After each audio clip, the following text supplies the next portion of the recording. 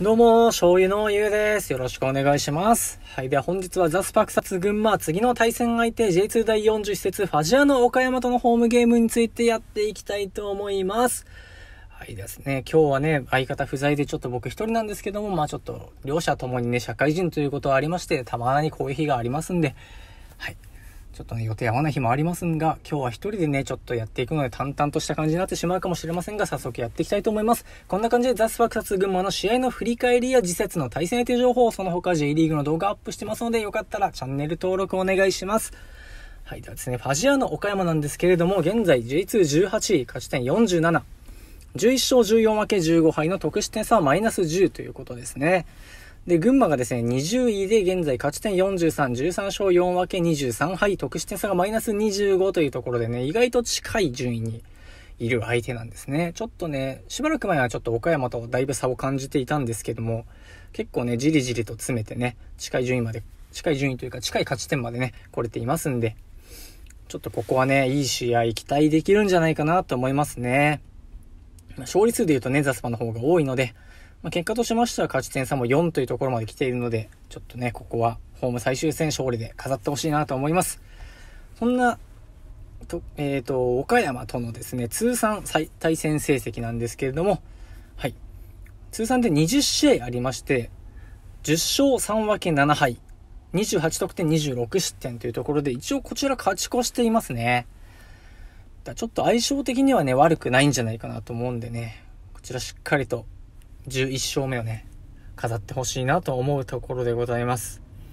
で前回対戦はですね、2020年8月22日、まあ今シーズンですね、1対0、まあ岡村大橋選手のゴールでね、無事に、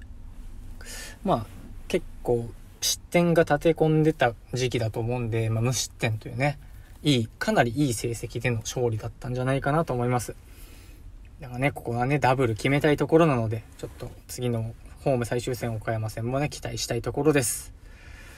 そんな岡山の直近3試合なんですけれども、まず福岡とのホームゲームが1対1で、琉球とのアウェーゲームが1対1。で、山形とのアウェーゲームが0対2の敗戦ということで、ここ3試合で言うと0勝2分け1敗。まあ、2得点4失点という形でしたね。まあ、一応ですね、ここの福岡相手の引き分けというのは結構ね、まあ、大検討したんじゃないかなっていうのはあるんですけども、まあ、琉球もね、あんまり上位ではない中での1対1の引き分けで勝ちきれなかったっていうのと、まあ、山形戦もね、結構ハイライト見たんですけども、まあ、あまりね、岡山の、こう、シーン、惜しいシーンみたいなものがちょっとハイライトにはなかったということで、ま、僕が見た短いやつなんですけども、ハイライトに映ってなかったというところで、まあ、完全に山形ペースの試合になってしまっていたのかなっていうことを考えると、まあ、あんまりチーム状態はね、良くないのかなって感じがしますね。まあ、福岡戦の前もね、引き分けだったみたいなので、まあ、ちょっとここのところ勝利がね、遠ざかっているっていうところで言うと、あんまり流れは良くないと見ていいのかなっていうところで、まあだからといって油断はできないですけども、まあここはね、しっかり岡山がね、ちょっと立て直す前に叩いておきたいなっていうところですね。で直近のメンバーなんですけども、ファジアの岡山はこちらですね。だから山形戦のスタメンになりますね。ゴールキーパーがポープ・ウィリアム選手、ディフェンスが向原選手、田中選手、阿部選手、徳本選手。で、ミッドフィルダーが、えっとですね、ダブルボランチが上田幸太選手、パウリーニョ選手。で、中盤2列目が斉藤和樹選手、上条聡樹選手、白井選手、で、フォワードがワントップ山本博樹選手という感じですかね。4-2-3-1という感じのフォーメーションでしたけれども、まあね、ポープ・ウィリアム選手なんかもね、まあ素晴らしいゴールキーパーだと思いますしね、結構、今シーズン序盤とかもかなりいいセーブ見せてたと思うので、まあ手強い選手かなと思いますし、まあ、結構いい選手は揃っているっていう印象なんですけどもね。まあ、えーとですね、じゃちょっとピックアップしました注目プレイヤーの方に早速行きたいかなと思います。まず1人目ですね、背番号19番ミッドフィルダー、上条聡樹選手ですね。1997年4月27日生まれの166センチ63キロ。まあ、小柄な選手ではあるんですけども、まあ、こちらですね、琉球から今季加入しまして、岡山の攻撃の核となっている若手アタッカーですね。まあ、現在7ゴール奪ってまして、ドリブルやミドルシュートも武器という感じの選手ですね。まあ、こちらの選手はですね、僕、今シーズンちょっとね、まあ、群馬なんですけども、ほぼ埼玉寄りの位置に住んでるので、大宮 RD じゃの試合をね、一回見に行ってるんですけど、まあ、上条選手直接ね、現地で生で見て、まあその大宮戦とても輝いていて、まあ前々からこう試合映像とか見てて、この選手は一番岡山で気になるなと思ってた選手だったんですけど、まあ現地で見てもね、やっぱ、こう、ひときわ目立っていたというか輝いていたので、やっぱ上条選手はね、ちょっと外せないなと思うんで、こちらの選手をまあ自由にさせないことっていうのがザスパにとってはね、かなり鍵になってくるんじゃないかなと思いますんで、まあ、この上条選手要注意ですね。はい。で、もう一人なんですけども、こちら、背番号14番ミッドフィルダー、上田幸太選手、1986年5月9日生まれ、174センチ、67キロ。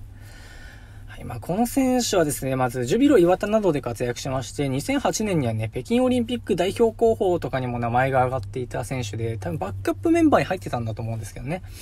まあ、かなり優秀なボランチの選手ですかね。まあ、ボランチ以外にも結構ポジションいろいろやっていたような気がするんですけど、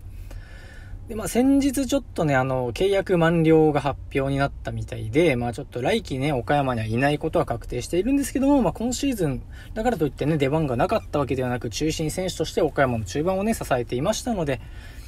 まあこの上田幸太選手もね、まあ残り2試合、岡山の選手として戦うことになると思うんですが、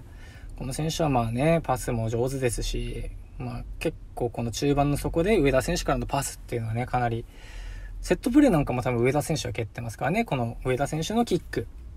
まあ、ここもね、ちょっと注意していきたいところですね。